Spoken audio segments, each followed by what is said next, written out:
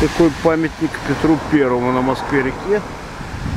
Скульптора Церетели. Планом. Да, мне сейчас к нему не проблема.